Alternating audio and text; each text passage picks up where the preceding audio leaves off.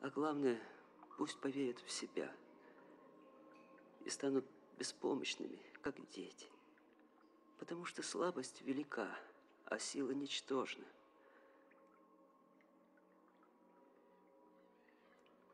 Когда человек родится, он слаб и гибок.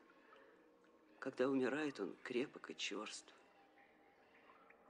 Когда дерево растет, оно нежно и гибко, а когда оно сухо и жестко, оно умирает. Черствость и сила – спутники смерти.